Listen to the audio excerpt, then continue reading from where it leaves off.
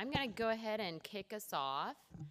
And I want to thank all of you joining me. This is, I've been at this conference since 8 a.m. on Monday, and I'll tell you, I'm super excited about this panel. The Almond Board has been investing in what we often call biomass research or finding new and more diverse ways to add value to our co-products for six years now. And we funded some some very interesting and sometimes called weird and wild uh, research, uh, feeding almond hulls to black soldier flies, which actually turns out to be a legit industry. Um, uh, a few other things along the way. But what really excites me about today is that you're going to hear about commercial investment. You're not going to hear about research. So we have three startup companies that are investing in um, using almond co-products to make new commercial products. Um, and then we're going to hear about a very exciting uh, sort of public-private partnership initiative in the San Joaquin Valley that is aiming specifically to attract not just commercial investment, but actual location of facilities that would use First among them, almond co-products, and then a few other things that come out of the ag economy. So, um, really excited that you took the, you stayed with us and you're joining us here today. Um, I will introduce the panel and then I'm going to do a few more uh, introductory remarks about uh, the journey we've been on and then I'm going to turn it over to these outstanding people. So on our panel today we have Paul Kephart with NutJobs and you'll learn about what they do. Roland Laux with Re-Nut, um, Taylor Heisley Cook with The Hurd Company, which if you went to the Global Market Development uh, talk this morning, you heard a little snapshot on that. And last but very much not least, Karen Warner with Beam Circular. So you'll hear from each one of them. All right. Um, so as I mentioned, we've have now six years of ABC investment in co-product um, utilization, looking for more diverse and higher value markets. And after many years of research, we were confronted with a question that of um, these things, we have done some great research to show what's technically feasible, but what's really um, a possibility from a market perspective. Which of these uh, technical options could actually compete in a marketplace of um, raw materials that get used in a whole very diverse set of things. So you're not at all uh, asked to read this slide. If you came to the almond conference session last year, we talked a little, uh, two years ago, we talked about this.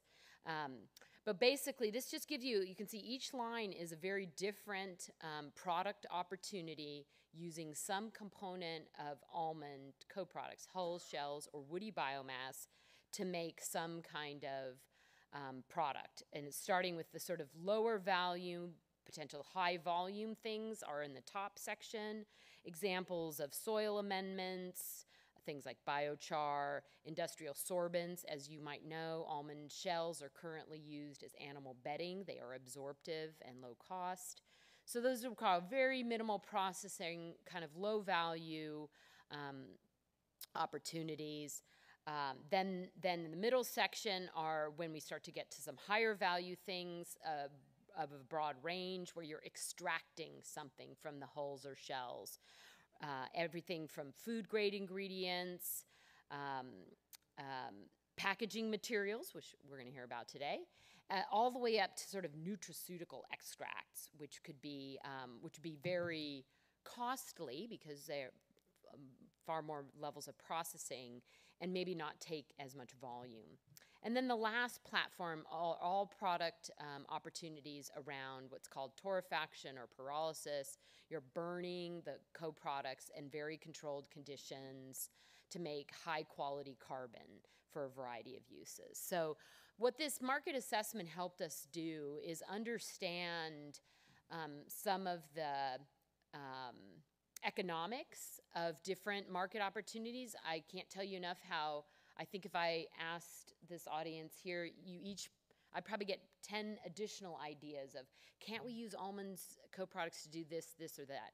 But then ultimately, if we're going to get commercial development of any of those, it's going to it means that the co-product has to have a reliable feedstock that those companies can get year round, year after year, if they're going to actually build a facility. They have to um, be cost competitive with whatever the feedstock currently is. Uh, it's you know it, the the um, other aspects of the um, of the business um, case um, in terms of you know is it how does it does the processing produce a lot of other co-products that might be really difficult to dispose of in a highly regulated environmental conditions like California so a lot of other factors that took into it so it got us to really start to think about what is the role of the almond board and how can we sorry I'll go back and how can what can we do not to just fund research but to to either make the opportunity more visible to all these types of industries because I don't know a lot about all these types of industries. Um, so, what can we do to learn about them, to figure out how we can make the opportunity visible to them? How can we de risk it in some way? Um, and how can we provide more information that helps them see the business case of using almond co products? And what's really exciting is that I think we are on that path very firmly. We're not funding as much research as we did, we still do a little bit um, including with some of our partners here. Um, but increasingly, we are speaking to the investment community and to the private sector. So um, I wanted to also update uh, before we jump in on a very exciting area that we talked about if you happen to come to this session last year. Um, and I will give my colleague Guangwei Huang uh, full credit for getting us on this pathway. And the uh, concept here is that the almond hull, um, is not just nutritious for dairy cows, but it's actually nutritious for people too. Um, I, as I always say, the almond hull is equivalent to the part of a peach or apricot that we all enjoy. So there is a lot of good phytonutrients in there, there's fiber, and there are sugars that, that can result in a, a very palatable taste. So we have had a program with a private um, food development company called Mattson um, that is now complete. We, we looked at a broad range of potential um, food product concepts that would use uh, powdered almond hulls or almond hulls as an ingredient in human food. Um, and had some really exciting opportunities that um, came from that that we continue to pursue.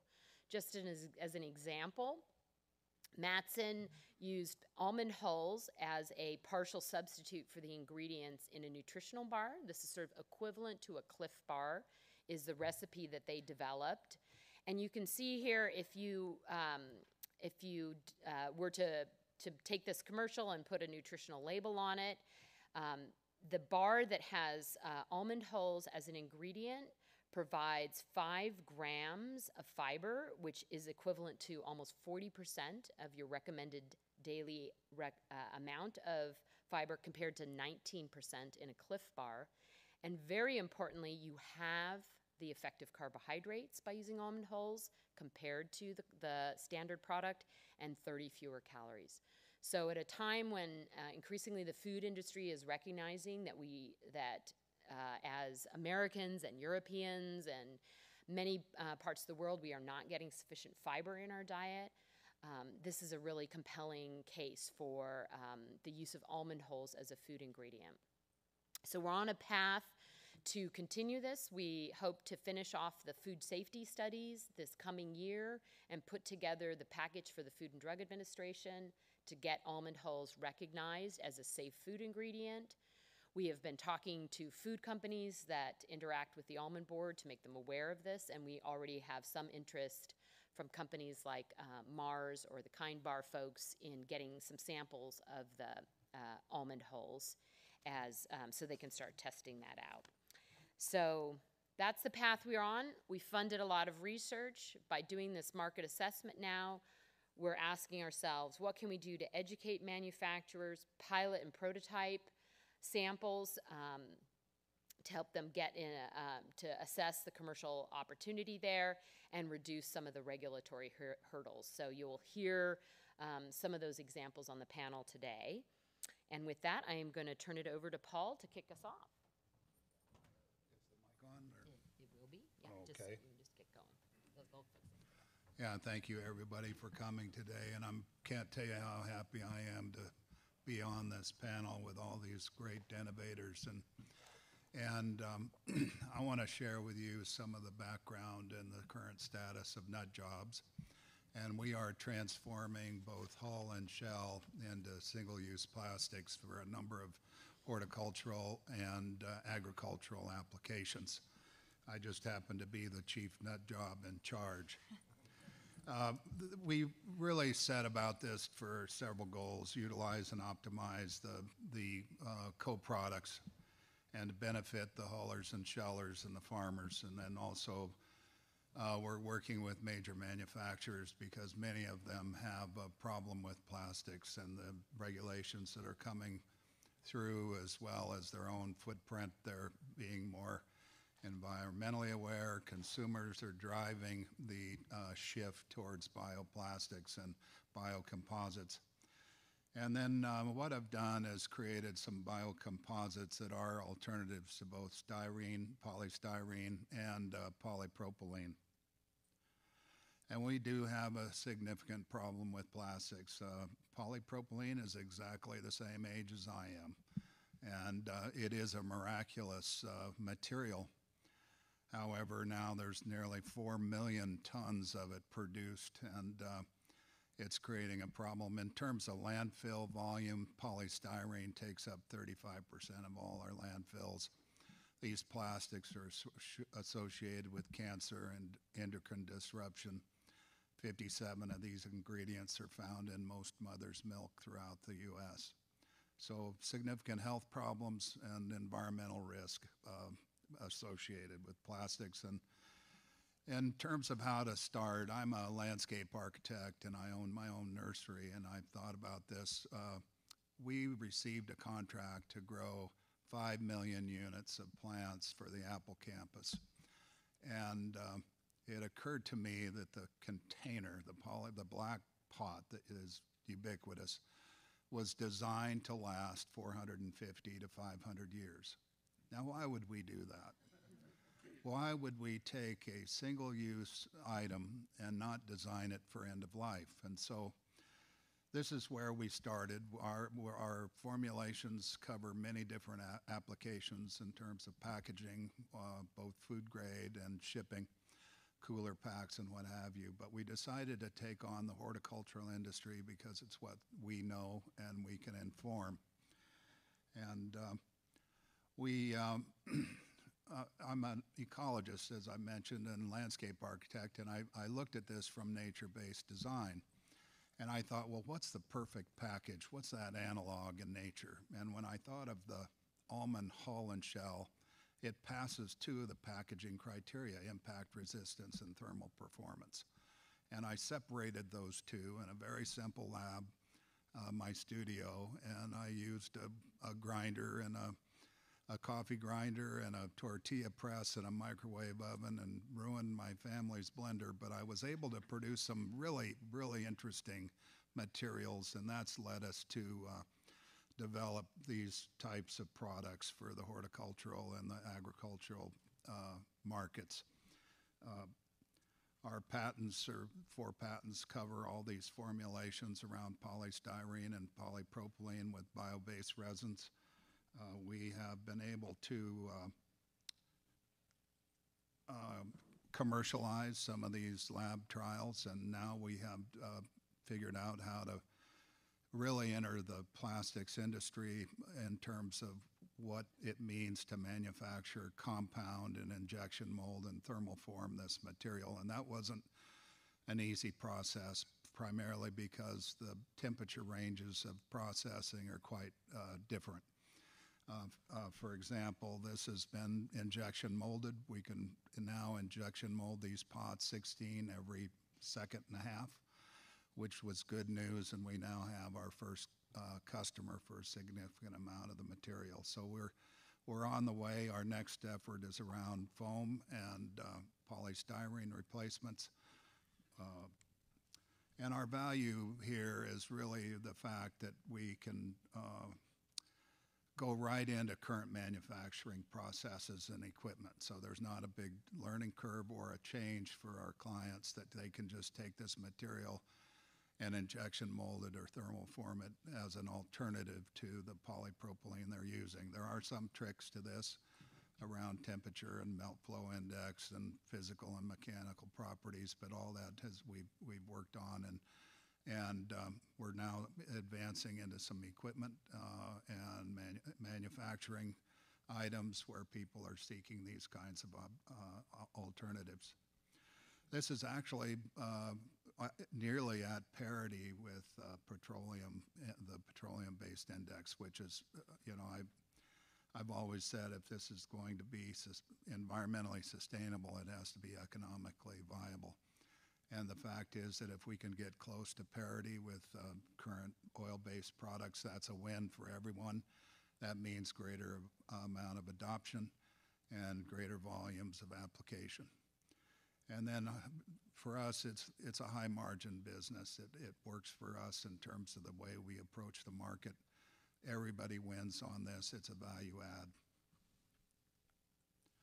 Our process and supply chain's pretty simple. We're going from the orchard, huller, and shellers. We now have set up our pilot production facility near Turlock, and then we're doing our biocompounding with others at, at a larger scale, about uh, 400 pounds or, uh, excuse me, 4,000 pounds of our pellets per hour. And then, and that's our business model. We're not actually manufacturing end-use products. We're manufacturing the formulations in pellet form, just like any other kind of plastic that goes to the customer. That's it in a nutshell. So uh, I'll be around if you have any questions or you want to see any of these samples. You can reach me at paul at nutjobs.com. Thank you. Thank you, Paul.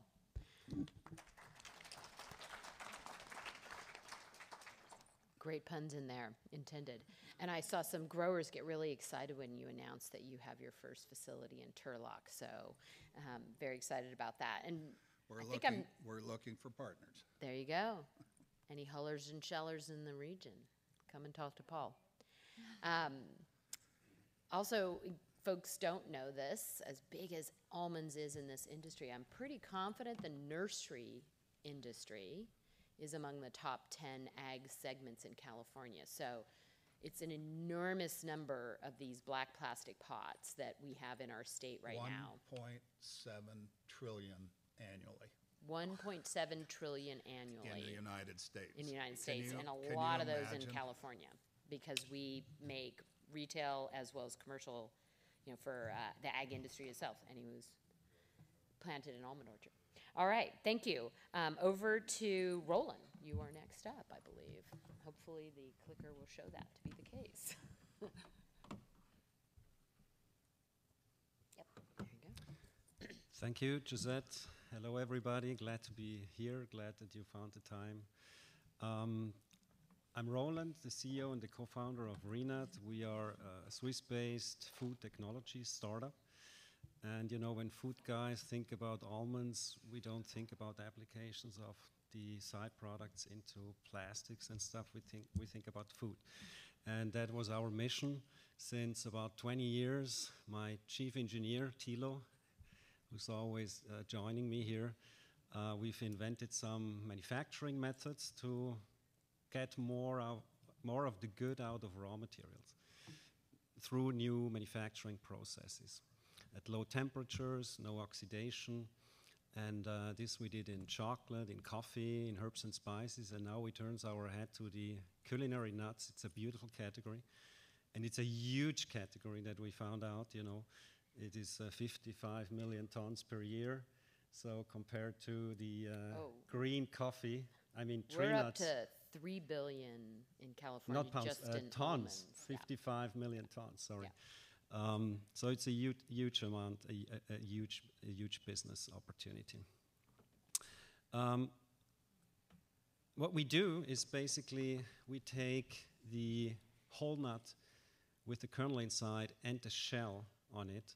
So the in-shell nut, um, we add four, four parts of water, and then we do different milling steps. We go through two or three milling steps, corundum stone mills, um, tooth colloid mills, and then we get a slurry. And this slurry we then drive through a decanter. It's a centrifuge that you see on the picture here, which does the phase separation. So we separate again the slurry into two to three products or extracts, one being the solids. The, the, the solids, they're wet. We can dry them afterwards or keep them wet for some applications. The other extract is a drink, which, which I'm here uh, drinking all the time. Um, and the third extract, optionally, we can get a oil out of the nuts. So these are the three outputs. Um, there is no waste anymore, and all these three products we can bring into the food nutritional um, cycle. This little movie here, I walk you through how this works. So this is the starting material, in-shell nuts. Then we do a debacterization and a roasting in shell. This uh, brings the log 5 reduction of pat uh, pathogens. Then we do a first dry milling, pre-crushing with a hammer mill to get the particle size to like 8 millimeters. Um, and this we then turn into different mills. We add water, ambient temperature water in the ratio 1 to 4. You see that here. And here, the part of the extraction takes uh, place, and we get out this uh, slurry, which has particles below 100 micron.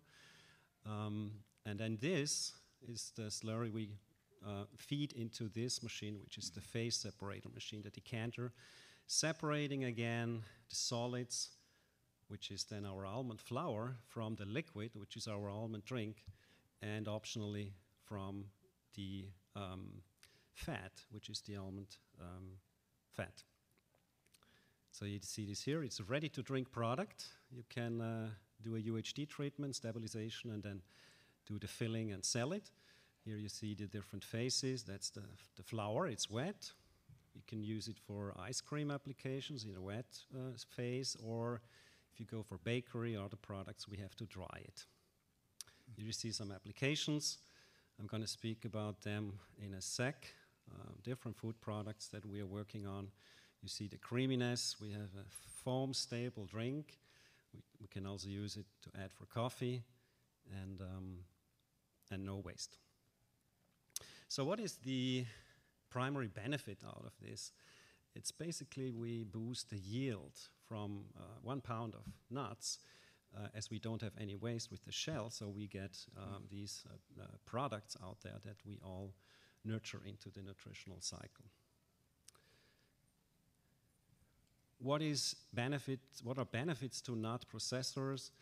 Um, they have a more yield. That's an economically interesting factor, as you can imagine, because the shell, let's say the nonpareil almond, is like a 35% ratio versus the kernel. Um, from a mass standpoint, but if you look into, let's say, Spanish almonds, we have 65% of shell versus the, the kernel. Hazelnuts is like 50-50, peanuts like 30%. Well, you all know, th know that, but we're looking at this uh, at, from a global perspective on all the kind of nuts. So I think there is a lot of um, yield improvement possible with these uh, ratios. And then we have lower costs because we don't shell um, the nuts anymore the process that you just got demonstrated is a fully continuously running system. So no batch processing, it's really apted for high volumes. These phase separation machines, they're using for wastewater treatment, and some of them are also used, you know, to produce, for example, oat milk. So they have the soaked grains in water, and then they run this through these kind of decanters to separate, to get the oat milk. So it's an established technology, and I'm glad we have our partner here also today, Mike here from GEA Westfalia. That's the largest number, glo the globally number one company doing these machines. And uh, we're happy that they are onboarded here in this project. Um, the other benefit is product innovation. Uh, we have a lot of fiber in it. You can imagine the shell mainly consists of um, cellulose, hemicellulose, and lignin, which is fiber. And this we add to the product. So that's diversification, that's innovation. We have too much sugar in our diet. We have enough fat, enough protein, at least in the Western diet, but we really lack on fiber. And I think that is one of the big contributions we can do when we put the shell, which is fiber, into the food products. So here are a couple of food products that we are thinking about. Um, bakeries, certainly a, a, huge application area. Um, then chocolate confectionery spreads. So this is an almond spread. We put on the hazelnut spread. We also did where we can use our flour with the shell as a filler into these products to reduce the sugar content. So, without mentioning names, the global leader of the chocolate hazelnut spreads, they have 50% of sugar. Can you imagine 50% of sugar? And 13% um, of the meat of hazelnuts in it. So what we did is basically we did 26% of our hazelnut flour and reduced the same uh, ratio, the, the sugar content, from 50 to 37%. And it's a beautiful creamy product. It's full of flavor, etc.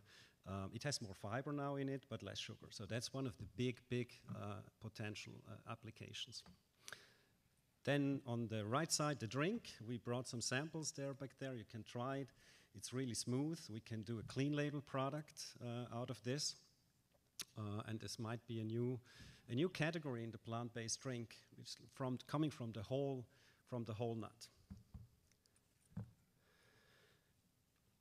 Just quickly, the composition for those who are interested in, we bring uh, the fiber in it, the protein, uh, the water, and we did all the tests with different almond varieties um, and also for the drink. Um, the one that you're going to taste here uh, has about 8% of fat, so a lot. I think to commercialize it, we will have to dilute it a little bit to make it economically uh, feasible. What is our business model? We have uh, a patent on this method and we roll this out globally. Um, and uh, we have just obtained the regulatory approval for commercializing these products here in the US. That's why we're here, actually, um, because we're based in Switzerland, but as you can imagine we're doing the same regulatory processes in Europe with like 30 countries. So every country has its questions, and it takes about two to three years to get the regulatory approval. So you're much faster here. we got uh, self-GRAS generally recognized as safe uh, in the US for almonds, and that's why, why we're here. Yeah, that's uh, our purpose is really to bring this beautiful almond with the shell into the nutritional cycle. I think this is a high added value for uh, innovation, for differentiation, for new business, and to bring some, some good stuff into this uh, world and in the stomach of consumers. So thank you very much for your attention.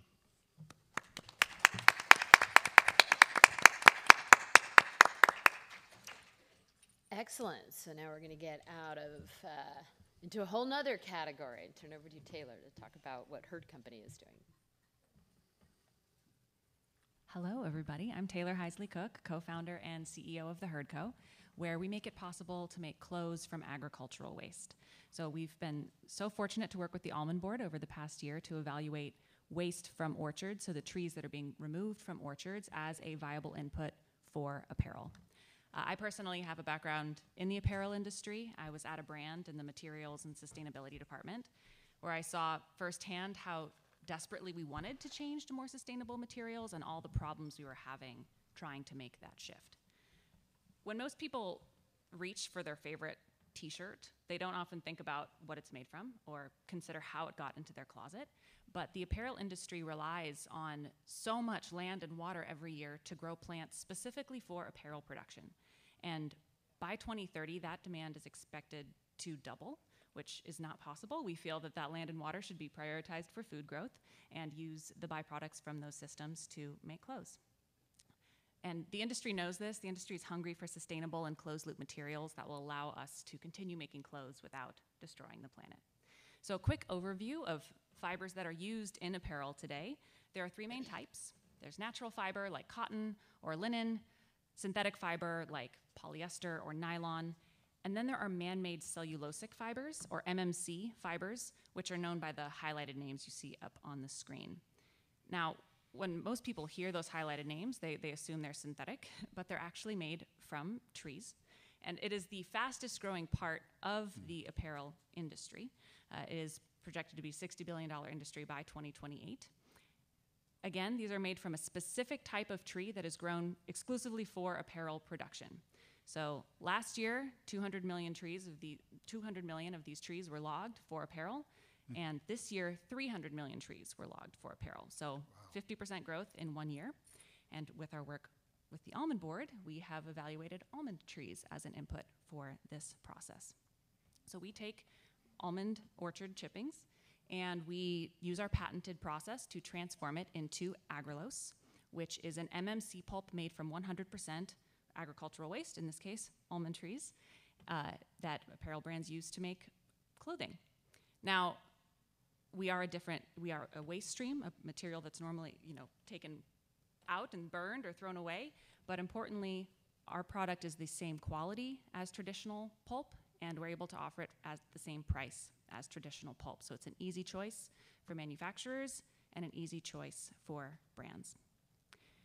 Being made from waste is a huge part of our story. It gets it, consumers very excited, but the magic really does lie in our patented system. It is a zero emission process. It is a closed loop system. We recapture and reuse over 99% of our solvent every time we run it. And all of our byproducts are used by other sustainable manufacturing partners, so there is no waste. We also, when compared to traditional pulping technology, use half as much water and 90% less energy. So it is a dramatically more sustainable project on, on all fronts. Course, there are other players in the space doing similar things, but right now we are the only company able to produce a viable MMC pulp from this material and offer it at a cost competitive price to the industry giants that are using uh, the traditional trees for the process. This is our team. You've already met me. Uh, the rest of our team, David has a background in the sustainable textile venture space. Uh, Charles, our CTO, invented the technology uh, as a grad student at uh, Riverside. Uh, he and also led the research project with the almond board to evaluate the almond trees.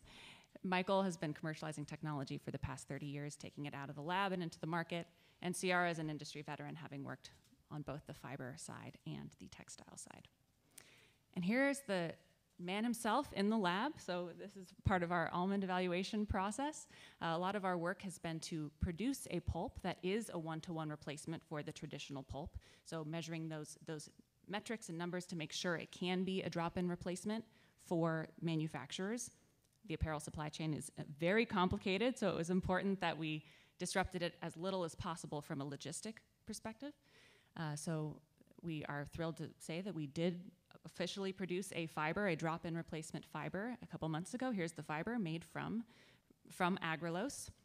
And now we are working uh, with brands to try to develop capsule collections for that.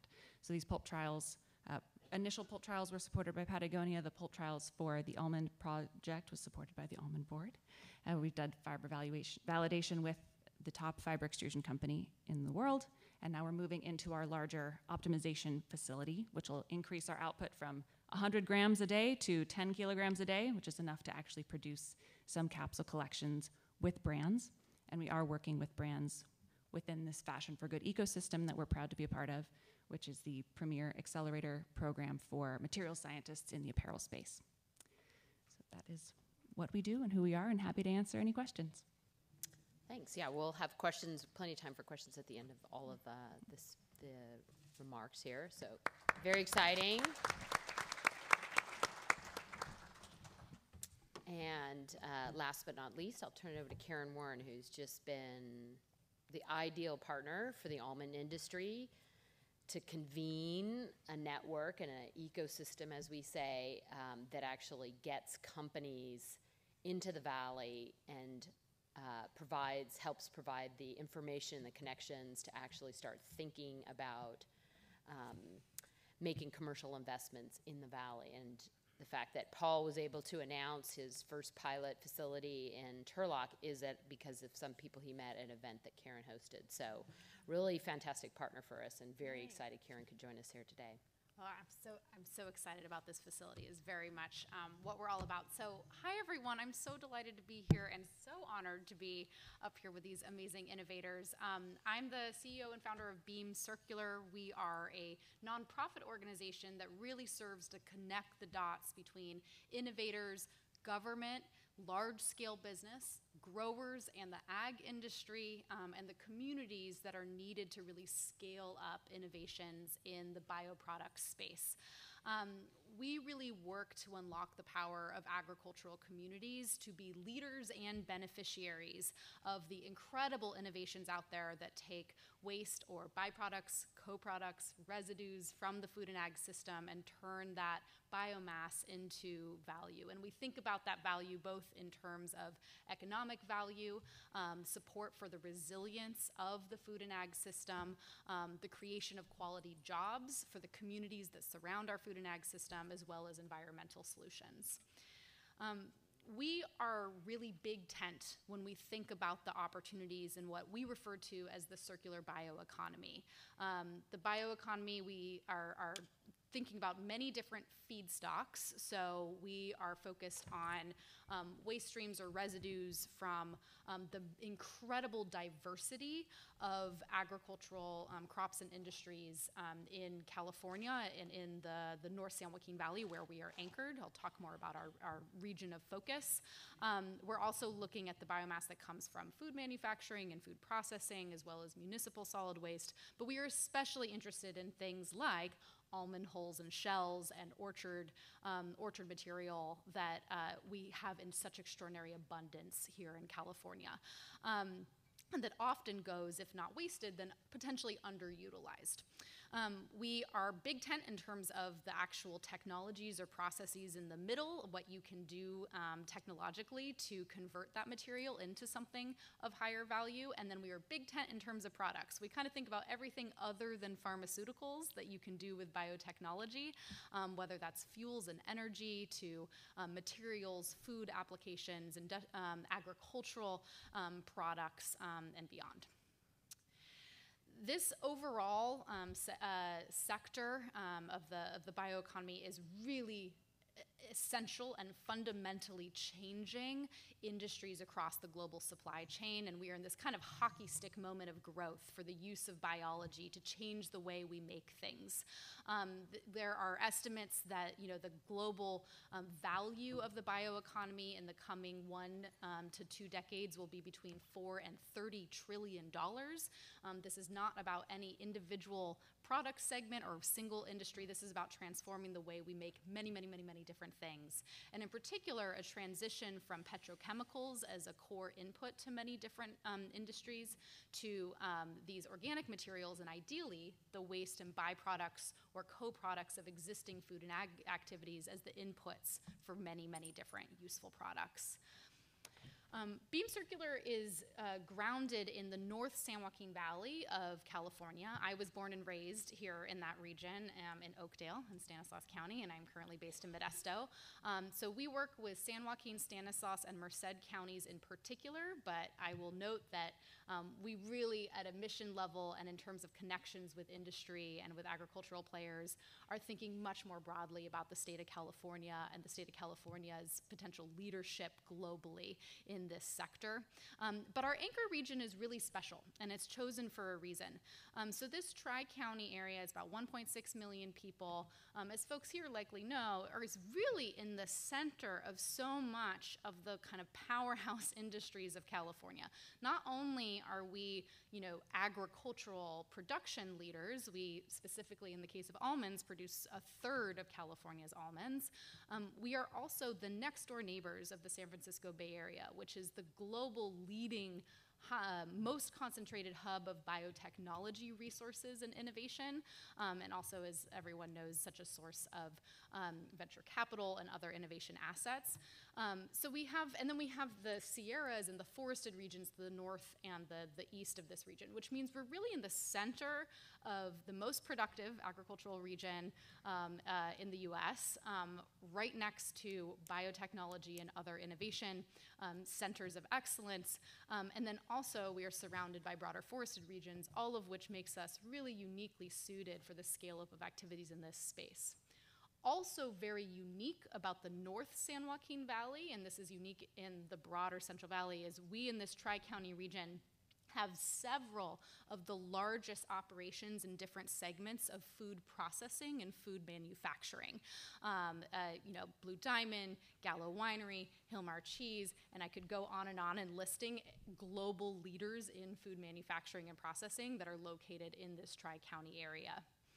Um, we did this really deep dive analysis of um, regional capacity for bioindustrial manufacturing scale up. That's the kind of industry term that we're using to reference that big tent of everything non pharmaceutical that you can do with biology and creating bioproducts.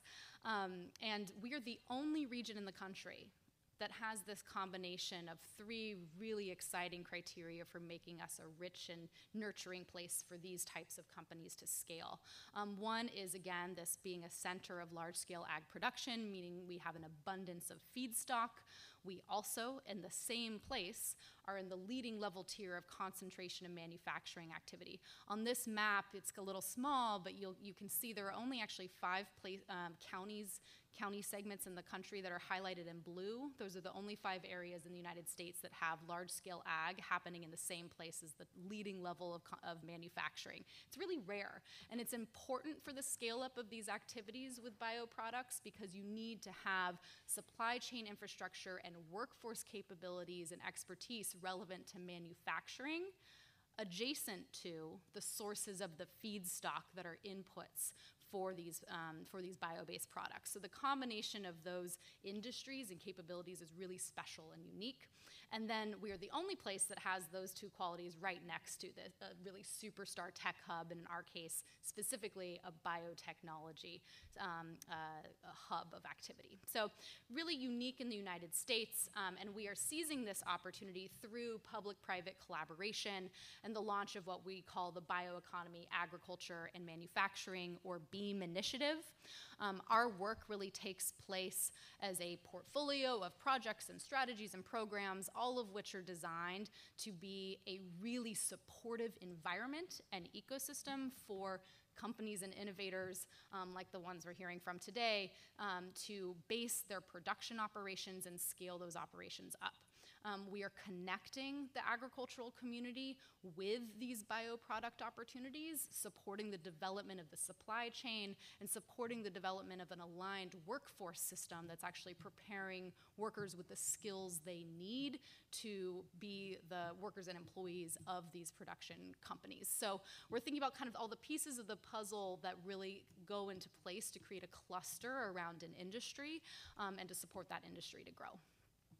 Um, we've been really lucky to have tremendous partners from across um, uh, business and government at the local and the state level and beyond, um, as well as innovators at the table. Um, Berkeley National Laboratory has been highly involved in our work. The Almond Board of California has been a tremendous partner in this work, and we are continuing to grow this ecosystem of collaborators. Um, I will just highlight briefly here that as we think about our opportunity to, to, to support the growth and the scale up of this work, we acknowledge that there are really important barriers to scale. And Josette was talking earlier about kind of investment in research transitioning to investment in commercialization and translating all of the incredible innovation and R&D that's out there into practice and use in the market. And that's what we're really focused on. There are, um, uh, there's kind of uh, amazing things things happening and that have been happening for years in R&D in this space, but we need to, in order to have economic um, and environmental impact for the ag um, industry as well as for communities, we have to be scaling those innovations up in the market, and so that's what we are specifically focused on. I wanted to highlight a couple kind of exciting projects that are part of our portfolio of work in creating this regional ecosystem. Um, one is that we are in development on a very significant innovation campus and test bed manufacturing facility that will be um, built in Stanislaus County to really serve as an anchor asset for this broad um, sector as it grows across the region.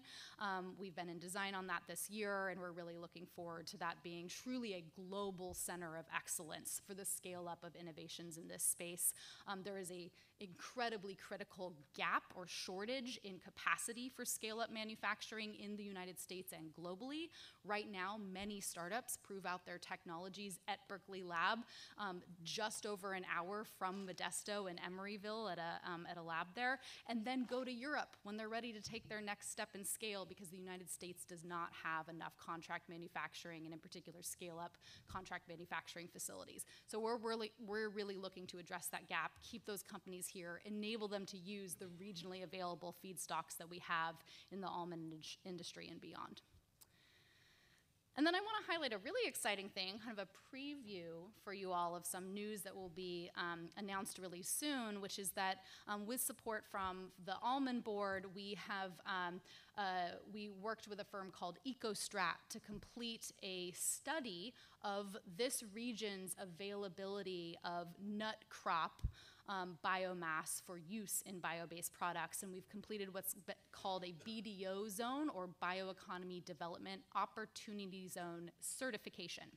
So, this is a process that does a really deep industry recognized study of a geography's um, availability of a given type of biomass or feedstock for bioproduct facilities. Um, and then it assesses that strength of the availability of that feedstock and gives it a letter grade.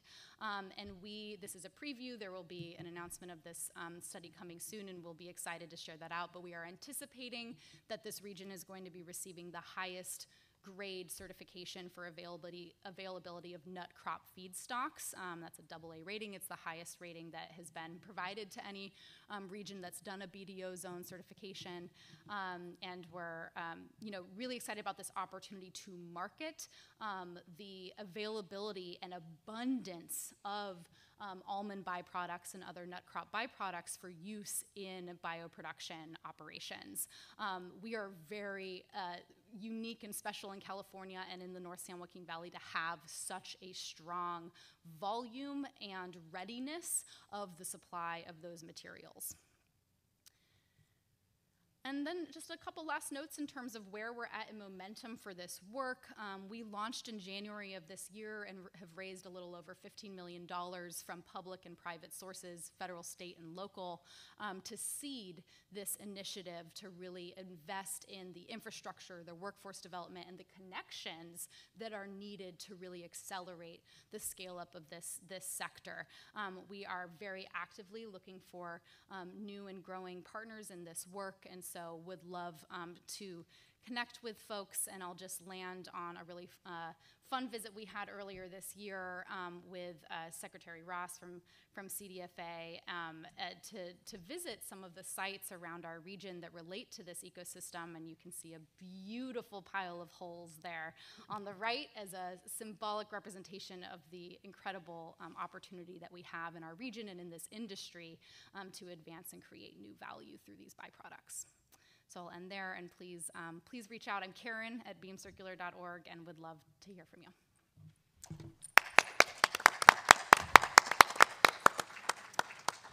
So I can't stress enough that double A rating that we expect on this supply chain reliability assessment. Um, we all work in the almond industry. We know our size. If you're in the hulling and shelling business, you know how big those piles get. But I'm never, I never cease to be surprised anymore at how the rest of the country and the rest of the world doesn't have a grasp of what California ag looks like. Um, you know, if you talk about uh, bio based industries or biofuels, immediately people go to corn in the Midwest, whether it's corn ethanol or it's corn stover for cellulosic um, biofuels they don't recognize the incredible volume of our co-products and the fact that our co-products are already aggregated in a very finite number of facilities spread over a few hundred miles along very uh, good transportation corridors, as opposed to corn stover, which has to be then harvested, because it normally isn't, off of millions of acres and somehow aggregated. So the economics and the scale of of uh, what we do both in terms of our crops but also in terms of our co-products is just not on the radar of um, investors and companies across the country let alone across the world um, because California agriculture is often not recognized for as, uh, as large as we are.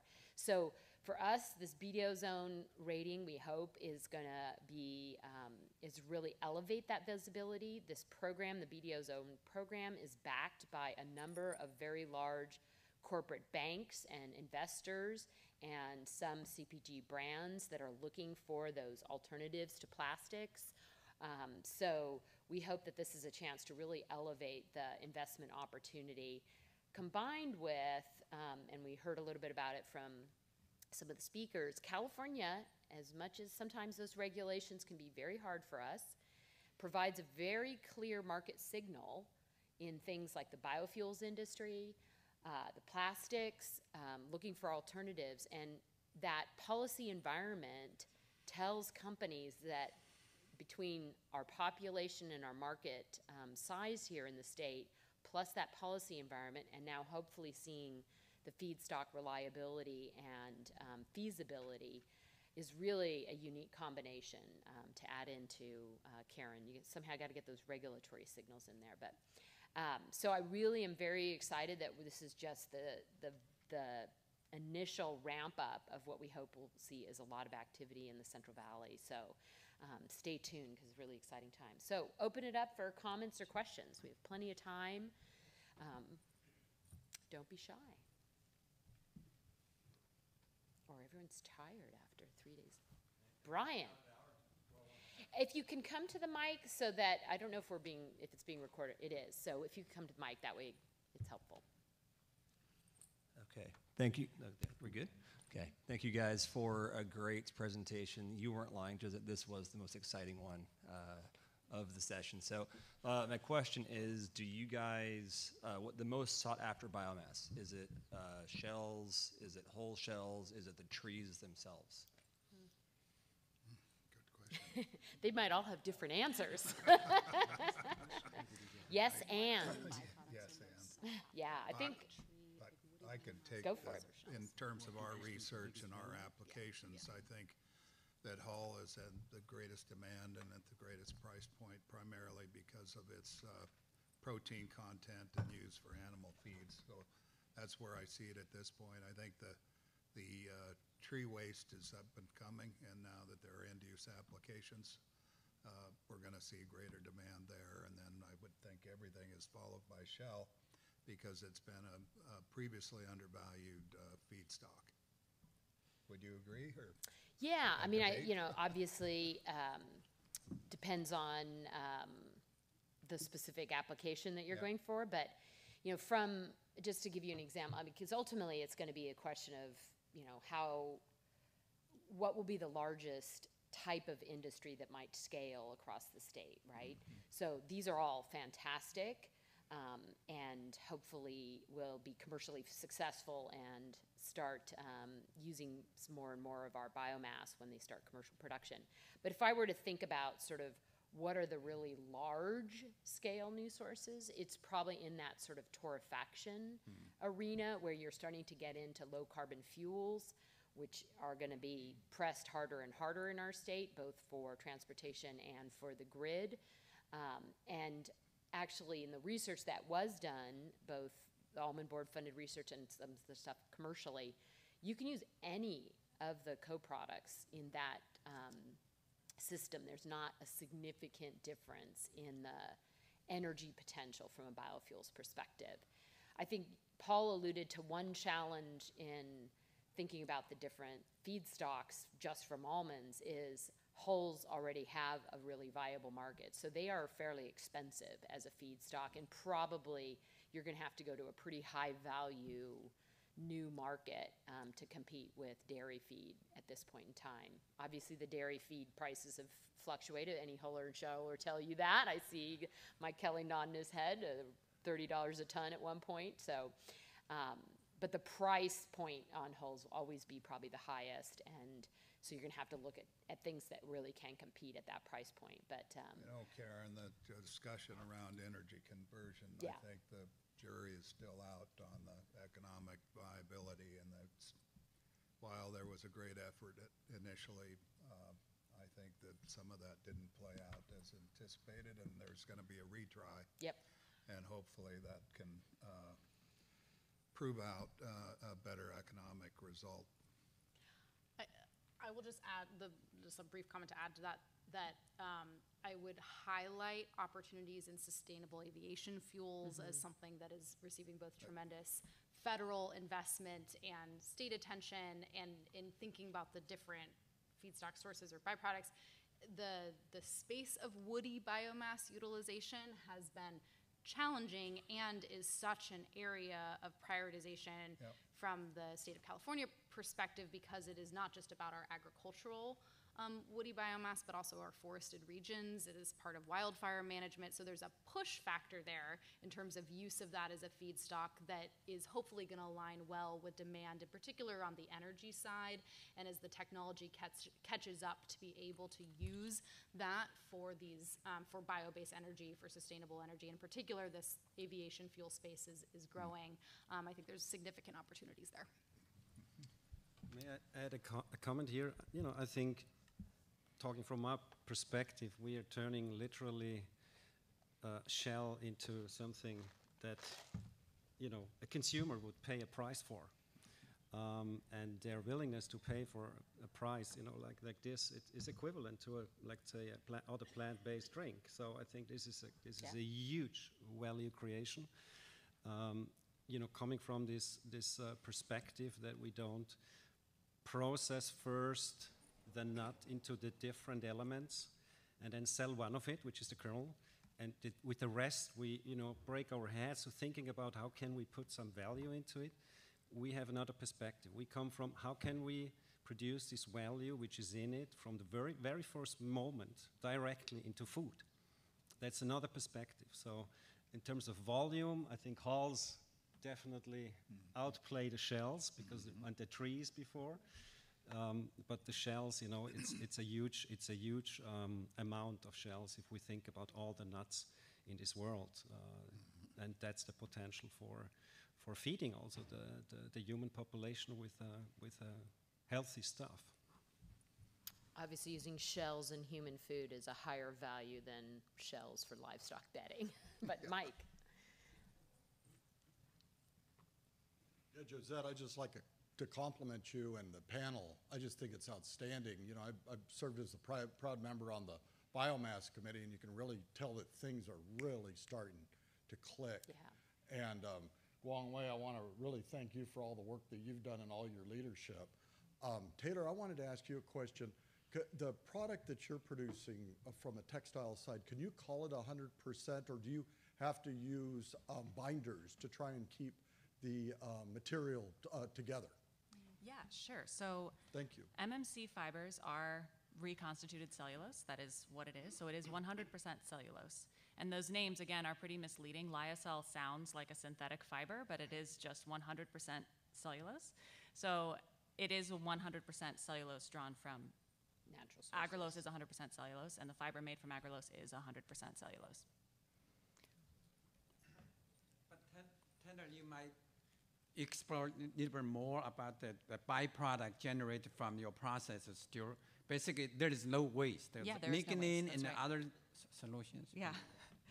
Guang Wei was, has been instrumental in our project. So he- he's like, talk more about this.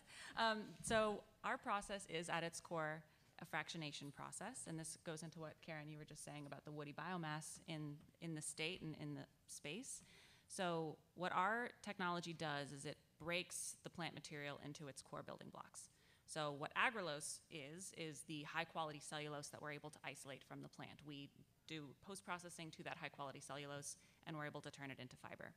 The other two products that come out of the system are hemicellulose and lignin, and those have other industrial applications, one of which is biofuels. So we can ferment the hemicellulose into bio- biofuels and support that growing industry. And lignin has myriad applications, lots of different interesting things are being done with lignin. So it is a zero waste system. All of the plant is used and goes into both industries or many different industries. Great. Come on. So the beam facility that you talked about, what will that be able to do? Because I think one of the challenges might be, Taylor, for is having wood stock that's clean to mm. use and ready to use. Will beam be able to do stuff like that?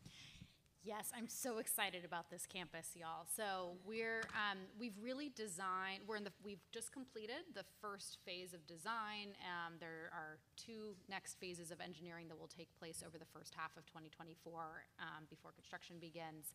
Um, and um, the the really the intent and the vision for this testbed facility is to be flexible for a variety of feedstocks and a variety of end products. There are multiple platforms, so there is conventional fermentation, food grade fermentation, um, some emerging spaces. We are very interested in the gas fermentation space, which is more emerging in the bioindustrial manufacturing realm and is especially interesting for use of more diverse and heterogeneous feedstocks, not to get too wonky about it all. Um, and then we are currently exploring and validating the extent to which we're going to be supporting cellular ag and a number of other kind of different um, kind of technology platforms, um, if you if you will. Um, so there's kind of a number of different types of processes and um, uh, feed, again feedstocks and end products that can be supported, validated, and scaled up um, through this facility. You can think of it if you are familiar with kind of different levels of scale in the bioproduction arena as demonstration um, scale is what we are especially focused on to help fill that gap between lab and pilot scale viability and commercial scale production. Um, because the dynamic for many um, innovative products in this space is that if you can prove out something at the lab or even pilot scale, um, the literal bugs behave differently at a you know 5,000 liter fermentation tank as they would in a 500,000 liter fermentation tank, and so you need to have um, ability to test them in the middle tier. Um, so we're looking at supporting a variety of things to get more into that kind of how much across the upstream and downstream of the supply chain will this campus support? We have a number of different downstream related processes and technologies that will be um, available and supported in terms of capacity on site. Um, and then the vision is to have co-location opportunities for upstream stuff that happens in the preparation of the feedstock for use in the actual bioproduction. So a little bit gets technical. If anyone is interested in the weeds on that, we are very actively right now soliciting feedback from prospective customers, users, and partners of this innovation campus, and are also thinking very intentionally about the upstream supply chain and how we will make it easy for growers and producers to plug into this supply chain and become feedstock providers through some shared infrastructure um, in this arena. Did that answer your question? Great. Paul, it's Kevin Long with Minturn Huller.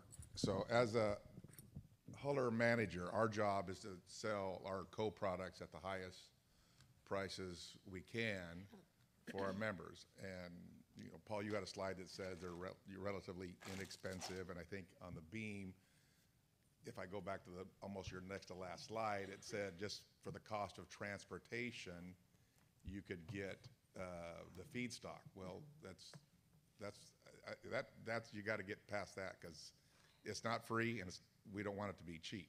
So I think that's something you'll have to kind of get through as it competes with the dairy feed that we're using it for. Question for you, is it Taylor? Yeah. Taylor. So would you ever consider every huller gets woody waste delivered with field almonds? Would you ever consider the woody waste from all the different hullers in this state for maybe for your project? Absolutely. Yeah. I mean, that, that's that's been part of the.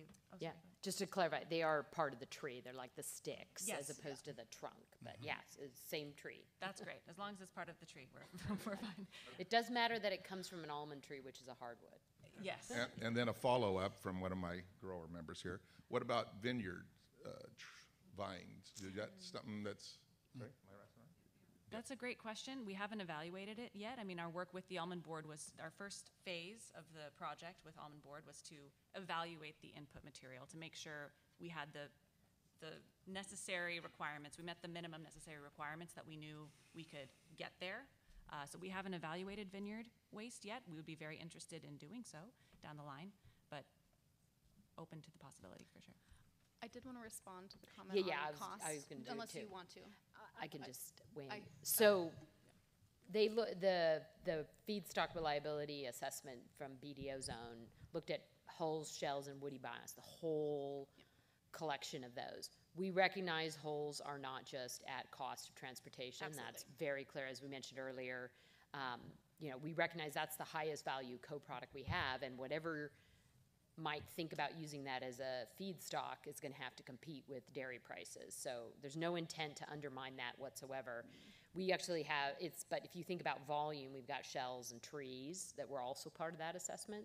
Those are currently at your transportation cost. If the grower didn't have to pay to do whole orchard recycling, I think we'd get some hands raised if you would haul those trees off. I'm seeing a lot of nodded heads. It's very expensive.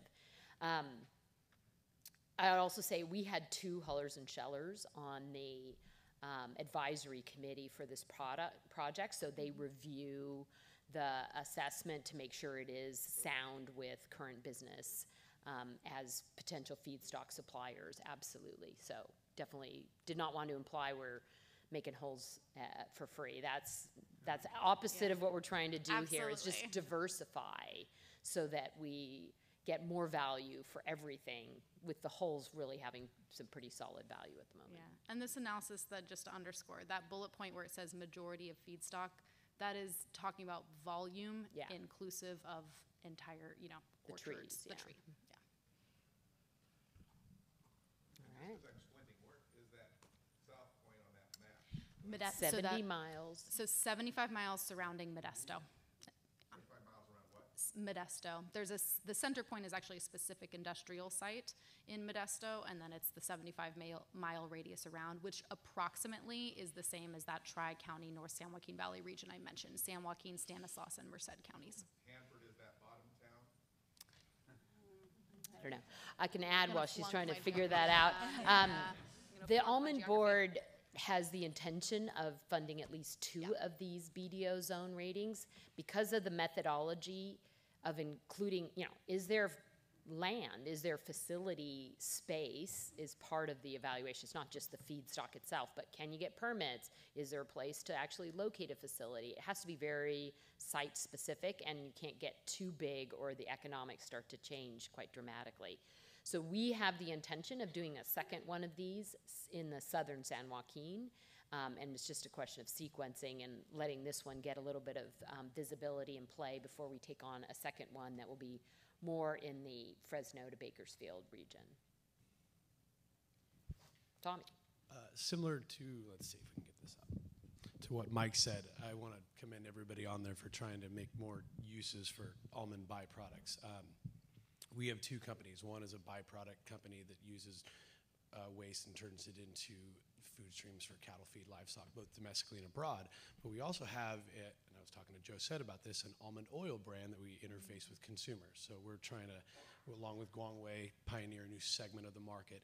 And one of the things we hear so often still is that nomenclature that almonds are water wasters and things of that nature that, oh, they're so bad for the environment. So my only comment to the group was, keep doing what you're doing, tell everybody about it, and it would be nice to, and, and I'm aware of the CASP program, I think that's fantastic.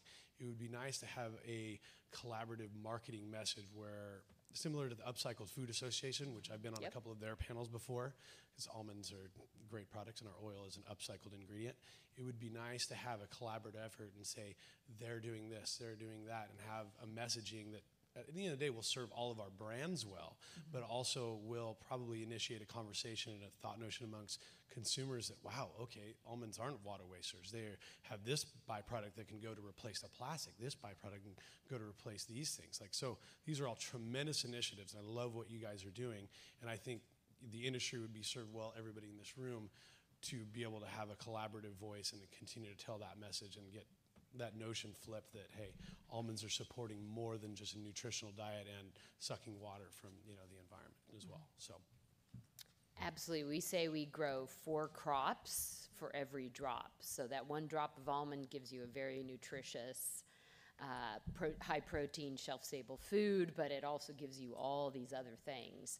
And even currently, if you attended this morning's session, but um, the amount of water that we save by feeding those hulls to the dairy industry is phenomenal um, because they're not growing another crop to, to feed those cows. They're using our hulls. Um, it reduces our carbon footprint. Um, these are all stories that um, we are elevating attention to. And the more that they actually start taking place commercially, the more Yeah. powerful that story becomes. So Yeah, and I- definitely on our radar. And I think the Almond Board does do a great job of that. If we could get We can always do more. Brand, well, but I mean, brand voices can be an extension of what you're doing Absolutely. because people don't ex- exactly follow the Almond Board as Right. often as we Oh, want, right? Or totally. The, the interface with them. So at a brand level, keep telling that message, please. Yeah.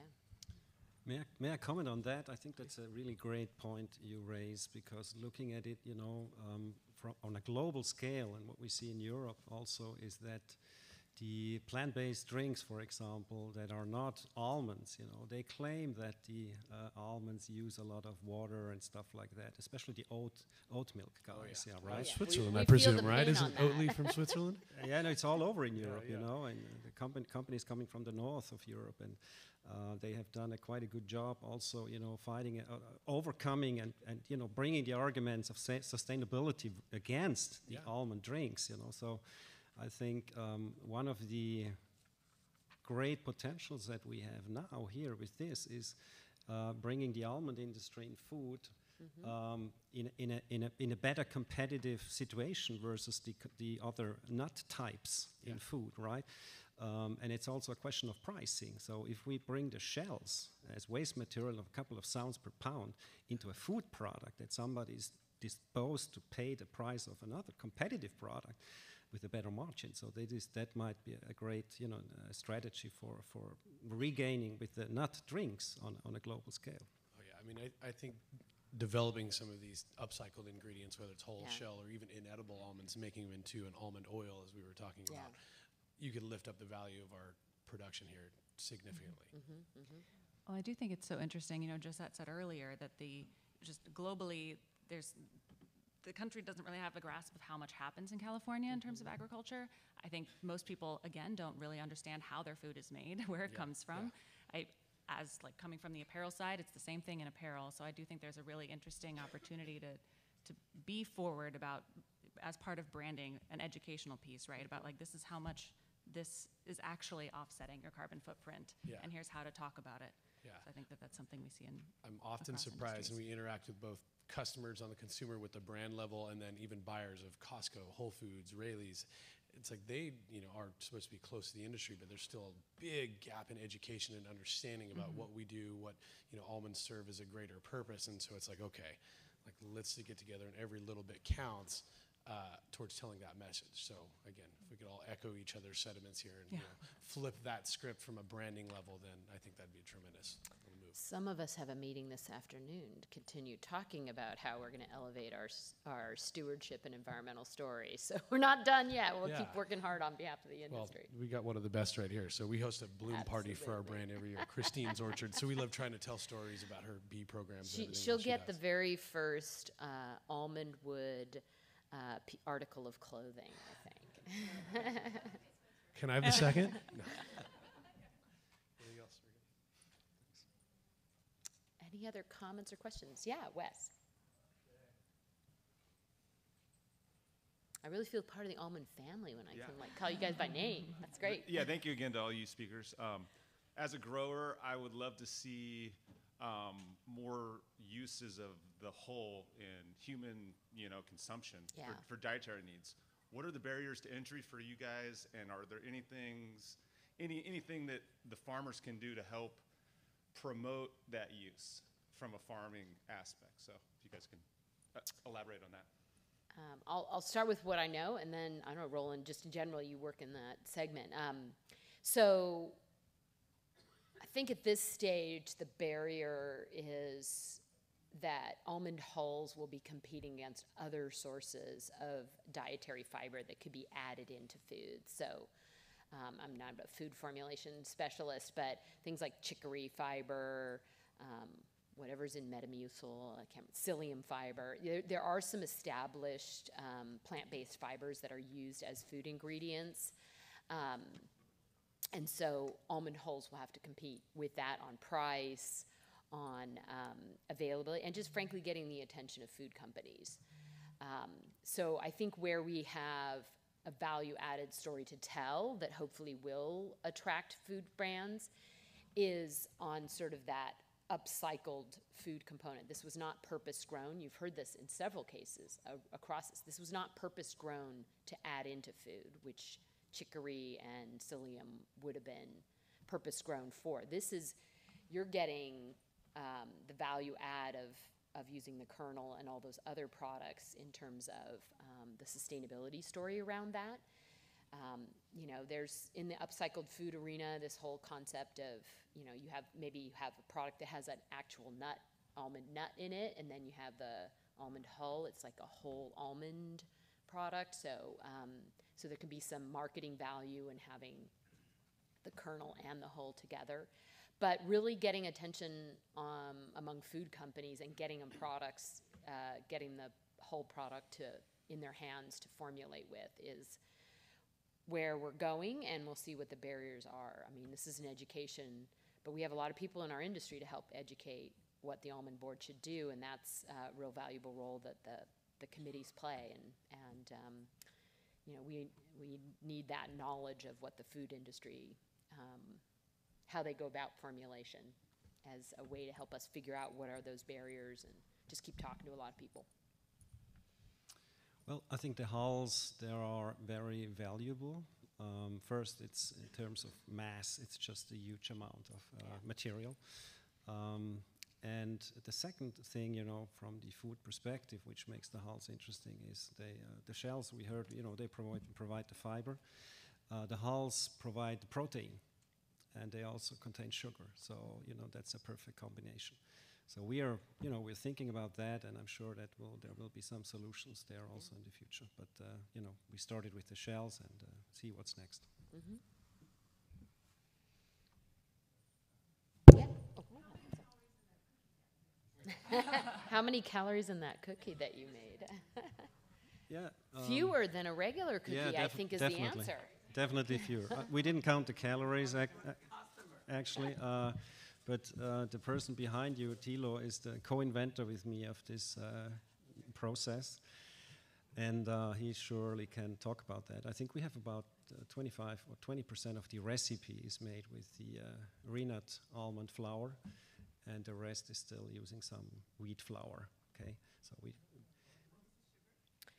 Um, ask ask the professor behind you. I don't know. He didn't bake them. Roland Uh, didn't bake them. uh, apparently, I simply don't want to say a calorie number. I, I don't know. Uh, but you know, It'd be fewer than a regular cookie for sure, because as you said, you're, you're, you're it's like Yes. the bar that I showed you, the Clif Bar, where it had 30 fewer calories than the standard formulation, but importantly, half the carbohydrates, because that fiber is a really key part to reducing the total carbohydrate.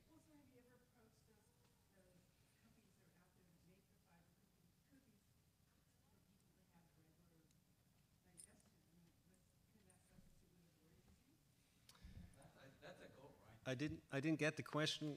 Uh, the question was, have, have you talked to any of the companies that make those sort of yeah, yeah, fiber-rich sure, cookies? sure. We're in that- discussion with yeah. both. You know, the the uh, let's say uh, nut, nut processor, uh, ingredient providers, and especially also with the consumer food companies. You know, they see the platforms for consumers, the fiber, the less sugar approach, etc. Antioxidants shall contain also anti- antioxidant polyphenols as all the shells from the plant. So that's in- interesting stuff, which is in there. And I think um, that's that's the perspective that we want to put into the discussion, right?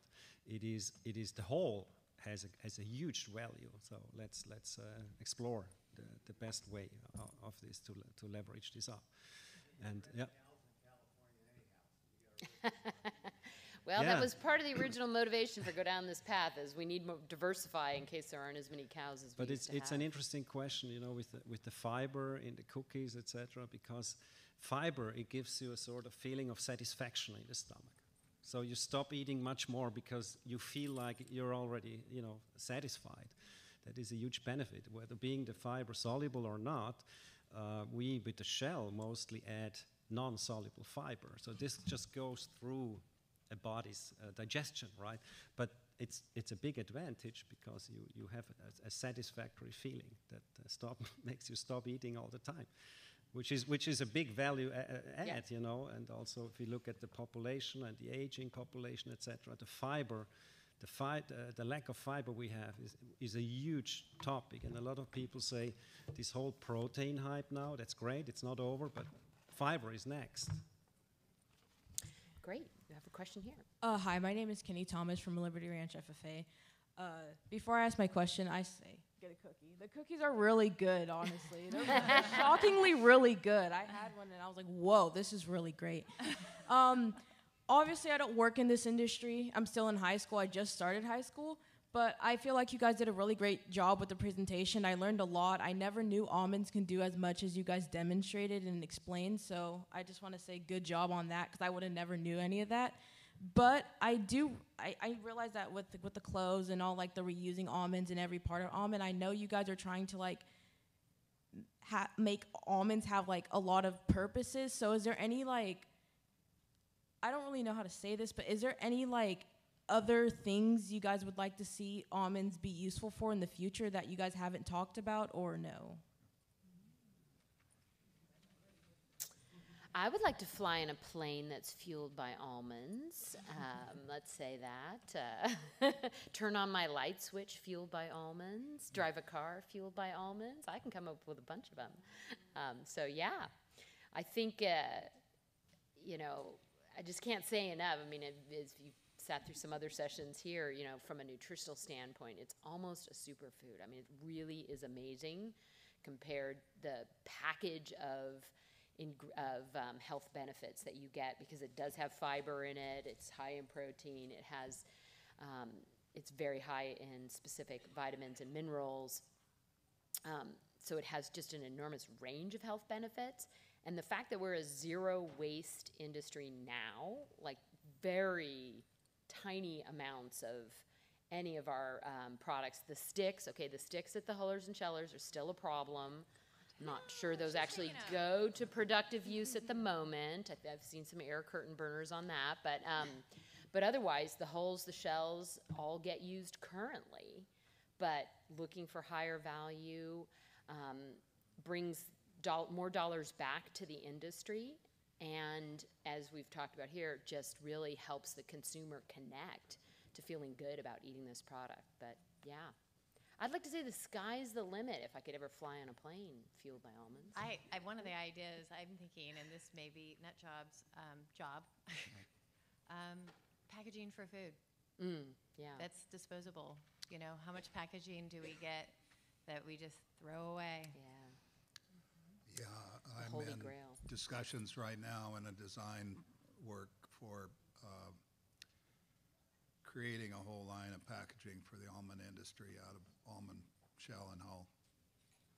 So it's, it's on the way. We definitely have some food brands It- asking about It that. will be on the way, and, and uh, we're looking forward to those co-branding opportunities and really telling a great story, uh, made here in California, and all the packaging from California out of the source material. yeah. Yeah, I'm, I'm really excited about that. Excellent. Stay tuned. Co- Yeah, we're. Come we're- to this. Come to this session Uh, at every you just- because we'll just, just keep uh, laddering up to more and more interesting things. You just raised the bar there, but we'll, we'll, we'll see. All right. I am. Oh wait, one more, Tommy. Have we looked into pasteurizing hulls? Because if we're going to be able to market them in a food brand, obviously we have to pasteurize them. Uh, no, because we do have an understanding of the food safety um, risks associated with hulls. Because it's a it's a low moisture food, it actually isn't uh, significantly pathogenic. we we do analyze the hulls regularly. They will have to be cleaned up in a food ingredient. They're not going to go from the hull or sheller into the food line. There will be a cleaning process, obviously, and that would have to be part of the business proposition there. Yeah, well, Christine brought up a good point. I mean, if we're going to be marking them as food grade, it might potential for an off-ground harvesting mechanism, and that would. Absolutely. My There just thought of be- it pasteurizing was if we every domestic pound we sell has to be pasteurized. I Right. imagine hulls would probably have to fall under that, so we would have to find either a steam or a PPO way. Well, Yeah. But not let's get a whole pasteurization. pasteurization test going then, huh? You just No, got don't. to come and join our industry because this is where Almond it board, happens. almond board leadership program alum. That's what you Yeah, got. there you go. There you go. All right, well, thank you again to this outstanding panel.